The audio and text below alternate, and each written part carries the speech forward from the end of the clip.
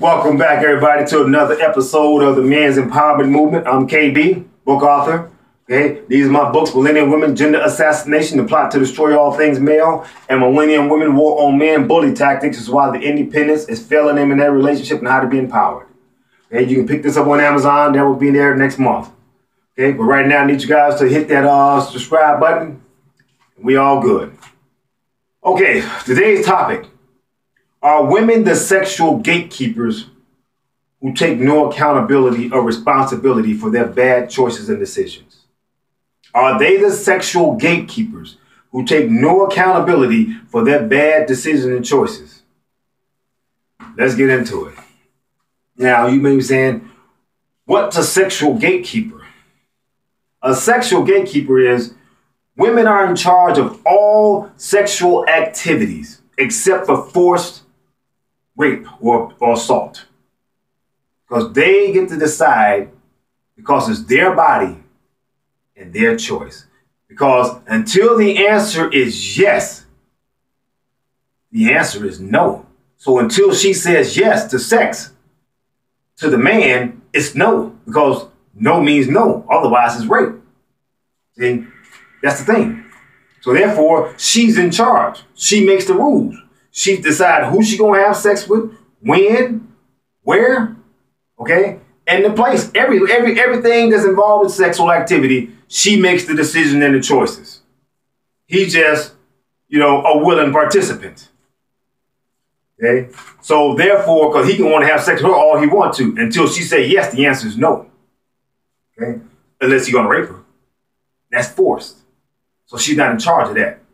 She's in charge of everything else. Okay, now, you got a lot of women out here making bad decisions because, you know, they'll make a decision with a guy, you know, who she knows is no good, a bad boy. He don't want no commitment. He just want to have some casual sex. Okay. Well, until she says yes, the answer is no. So she goes and has sex with the bad boy. Okay. Now, some bad things can happen. She can get pregnant. She can get STD. Whose fault is that? A lot of them say, yeah, both of them. That guy got her pregnant. No, she got herself pregnant. Because without her saying yes, without the irresponsibility of saying yes, and without the irresponsibility and bad choice and, and bad judgment of having unprotected sex, that's her fault. Because she could have easily said, no, guy, we ain't having sex, okay, unless we, we use a condom or something, some type of birth control. But yet she went along, she went on with it anyway, knowing the risk. So therefore, it's her body. She decides what happens to it. She decides with whom she's gonna have sex. She decided to have sex without a condom or birth control. So she got to take responsibility and accountability for her poor choice and bad judgment because it's her body, her choice. She's the sexual gatekeeper. All sexual activity has to go through her. Not him, but her. Because until she say yes, the answer is no. Okay? Now, you got a lot of, you know what I'm saying, people out here saying things like, well, you know, pregnancy is both their faults. They should, you know what I'm saying? Men, men is responsible, 50% responsible. Yeah. But she made 100% of the choice. So all the fault comes to her. Now, when women get, you know, make a bad decision, okay, she get pregnant by, you know, a guy maybe she, you know, didn't know or, you know, had casual sex. Okay? She got pregnant they get rewarded for being a single mother and making bad decisions for being that single mother. Now you may say, well, what are you talking about? Here's what I'm talking about. A woman go out and make a poor choice, bad decision, she get pregnant by a guy she barely knew. Probably don't, know, probably don't even know his damn name. Okay? Now, she had a baby. She can get welfare, child care, housing, money, food, education, all for her bad decision and poor choices and irresponsibility. Wow. What a plan. I mean, well, wow. She get all them benefits for doing wrong. Now, let's look at the men. He got to pay child support or go to jail. So he made a bad decision and he got punished. She made a bad decision and she got rewarded. Wow. What a society we live in where men get punished and women get rewarded for the same behavior. See, the unfair injustice that's going on, okay, of men and women, where is the equality in that? She was the sexual gatekeeper who made the bad decision, and she got rewarded for it. He was a willing participant, and he got punished for it. But I thought we lived in an equal society. See, women always saying things are not equal for them. But if you look at society, fellows, and you look at the laws and things of that sort, men are the ones who are, are, are not get, are not being equal. We need to be out here screaming about equality and marching in the streets of Washington about equality. It's unbelievable that women get rewarded and men get punished. Okay?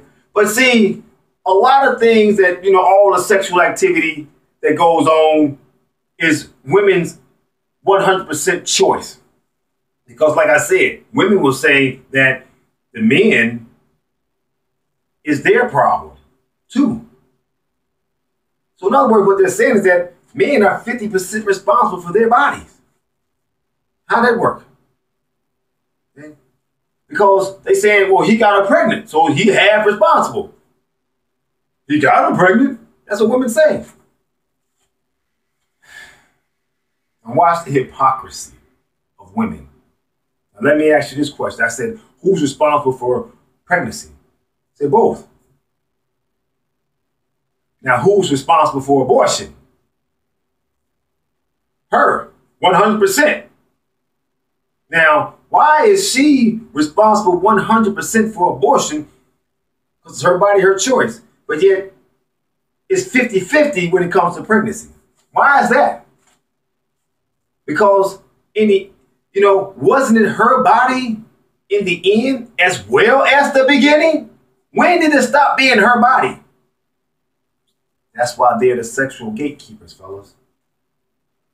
It was her body in the beginning before she got pregnant, and then when she got pregnant, and it's her body in the end when she had the abortion. But yet she's saying it's a 50-50 thing in the beginning, and it's 100% her choice in the end. Because she want to be able to make the decision to keep the baby or not, but see, as if that's not his baby too. Another unequaled injustice for men. See, by women being a sexual gatekeepers, all sexual activity goes through them. Okay? She may go out here and have sex with a, with a, with a guy, you know what I'm saying, who got a girlfriend. She know he has a girlfriend, but she did it anyway. Got pregnant by him. Got an STD by him. And yet and still, she's saying he's part responsible. See, women take no accountability for their actions. How can you be the sexual gatekeeper and then say it's somebody else's responsibility and then at the same time say it's her body, her choice? It's double talk hypocrisy that's causing women to shed the accountability when it don't favor them. But they saying when it comes to abortion, it's 100% their choice and he has zero say so in it even though it's his child too. This is her body, her choice. See, that's why she's the sexual gatekeeper. But see, it's just in the end, when it came to abortion, she said, I accept that responsibility because I want to have the choice not to have this baby and be free. Another bad decision. But yet, in the beginning, she's saying somehow this guy's 50% responsible for her body. She's not saying it's 100% her fault, now is she? And she got pregnant. Hypocrisy, fellas. See, women say they don't want to be sexual objects. but yet they present themselves as sexual objects. So what do you mean? Women women want to be independent and strong and and, and and we gotta, you know, think, you know, men should go after their minds. So who made the decision to go into porn? Who made the decision to go into prostitution? Who made the decision to be a stripper? Those are all sexual objects. I said women are in charge of all sexual activity except for force. So I don't want to hear no woman saying, oh, well, what about trafficking? That's still forced. See? What about, you know, some pimps out there forcing women to go out there? That's still forced. I said all sexual activity except for forced. So therefore, if a woman go out here, you know, you got these college, they call them sugar babies. Guys, you know what a sugar baby is? See, it's the young college girls, okay, who go get them an older man so they can, you know, get money from them, gifts and house and get them to take care of them, pay their tuition, all kind of stuff. They call them sugar babies. Is that forced? Or are you being a sexual object, okay, and presenting yourself out there like that?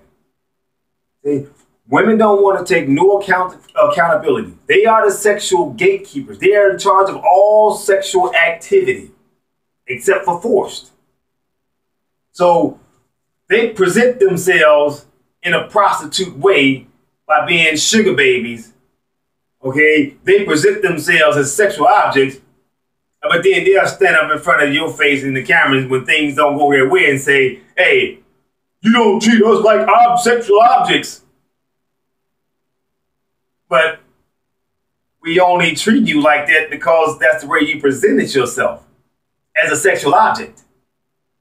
You decide to go into porn. You decide to go into stripping. You decide to go into, into prostitution. You decide to be a, a, sugar baby. You presented yourself as a sexual object, but yeah, you, you preaching to us, telling us don't present, don't look at you like a sexual object. Another hypocrisy. See, fellas, women double talk, okay, and then it's always they want to share the accountability. They don't never want to take accountability and responsibility for their actions. When they are 100% in charge of all sexual activity because it's their bodies and they decide who have sex with them, where they have sex with them. Okay? Everything is determined based upon their decisions and their choices. But yet they want to preach to us and say, hey, you don't treat us that way. You respect us. But at the same time, they don't respect themselves. They want us to put them on a pedestal of respect, put them up here, but yet they won't put themselves up there. Right? Because you going out here having multiple sex partners, okay? How is that respecting your body? It's not. But yet you want us to respect you. So if you going out here doing porn and stripping showing your body and selling your body for money, how is that respectful to you? To you, it's not. But yet you want us to respect you. See, they want us to put them on a pedestal like a princess or a queen, but they won't put themselves up there. So why should I respect you when you won't even respect yourself? You want us to take and say, hey, you know, women deserve respect. Since when? Respect is earned. It's not given because of gender. So if you disrespectful, you saying I still should be respect you. Like I said, no accountability, no responsibility for being the sexual gatekeepers. The sexual gatekeepers are all women because it's their bodies, their choice. They will stand up in your face and say that every time there's a rape case that goes on.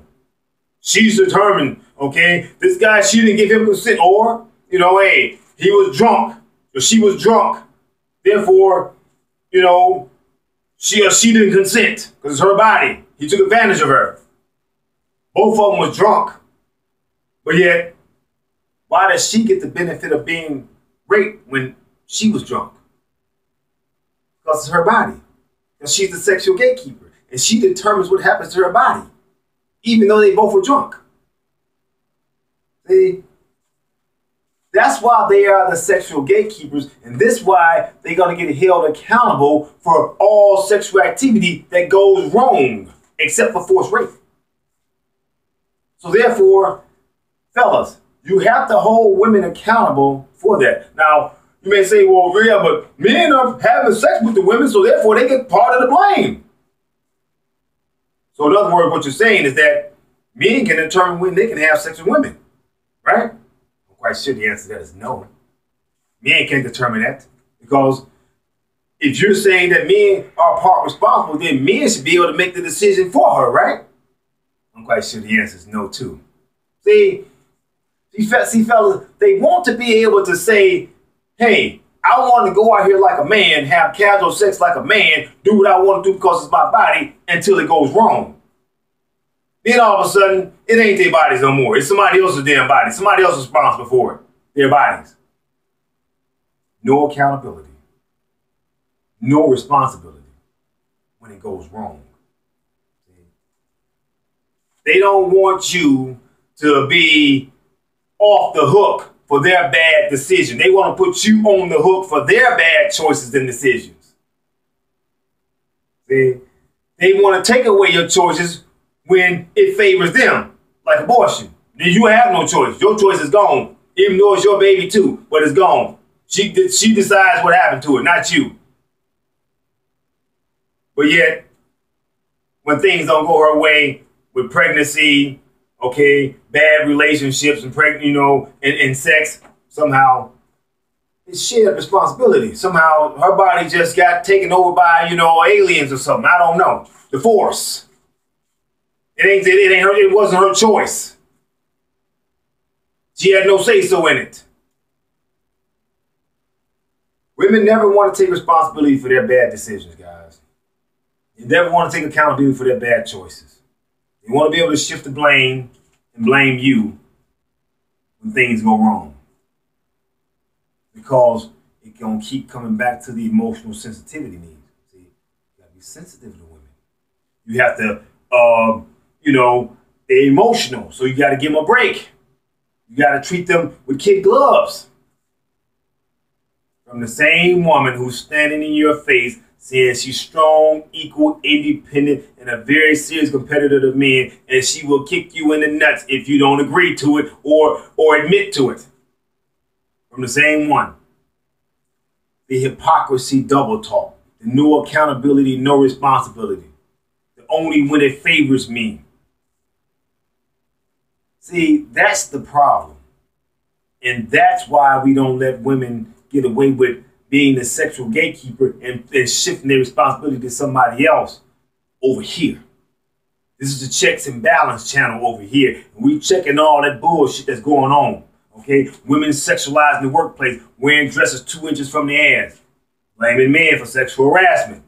Hey, this guy looked at me funny. But yet, she purposely wore the short skirt so she can get attention. No accountability hey, uh, uh, you know, the porn, men, guys shouldn't wear, well, watch porn.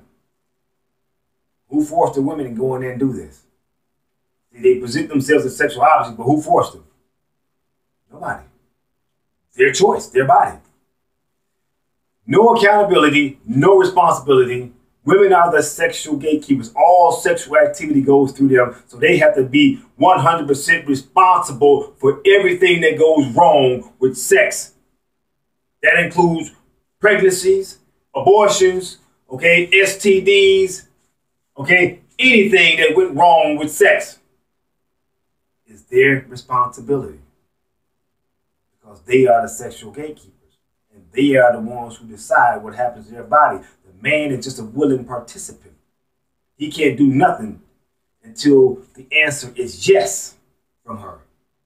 And when she gives consent, she has to take 100% responsibility for that consent. She can't shift the blame to him and say he's 50% responsible what happens to her body. Yet in the end, he's, he's zero responsible for her body because it's abortion. She don't want him to decide to keep the baby because she want to be able to discard it. She want to make that choice because it's her body. Yeah, he was responsible in the beginning, 50%. fellas, you gotta stop women from jumping back and forth across the aisle when it favors them. You got to hold their feet to the fire. You make her responsible for all sexual activity. Okay? It's like when a guy have a girlfriend and she go out and cheat on him. Okay? A lot of the guys go after the guy. Well, you know, the guy. No. Why would you go after the guy? He just accepted the gift she gave him. If he didn't rape her, she is 100% responsible for cheating and doing you wrong. So guys, you don't go after the guy. He just he just accepted her gift that she gave him. Because but for her saying yes, the answer was no. So she's 100% for cheating. Period. So don't never go after the guy, fellas. And if he didn't rape her, don't ever go after him. Because he just a guy, you say, what if he knows about, you know what I'm saying, me and the woman? That's your girlfriend. That's your wife, not his. She betrayed you, not him. He not responsible for her choices and decisions. She, he ain't in a relationship with you. She is. So she got to take 100% of the blame, not him. So you check her. You discard her. She is the dirty one, not him. He just accepted the gift. I'll never blame a guy for having sex with my girlfriend and she gave it away.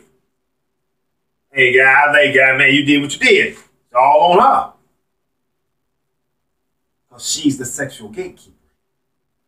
And she determines what happens to her body and with whom to have sex with and where and why. Not him. He's just a willing participant. It's like porn stars. That's why they get paid more money than men porn stars. Women get paid more money than the men. Why?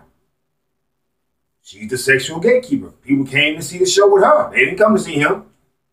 He, he's a dime a dozen. So therefore, she gets all the praise, all the money, and everything, and all the glory. But she also gonna get all the blame. Ain't no shit, no blame over here. We do the checks and balances, fellas. Women are the sexual gatekeepers. They are responsible for all sexual activity except for forced rape, or assault. So you hold their feet to the fire when things go wrong. They want to go out here and be like a man and have casual sex. Things go wrong. It's her fault, 100%, because she made the decision, because it's her body, her choice. But for her saying yes, the answer is no. So never blame the guy for cheating with your woman. You may be mad at him because he took the gift, but it's her fault because she's the sexual gatekeeper and she's your woman, not his. You're not in a relationship with him. You are. So, fellas, I'm gonna wrap this thing up.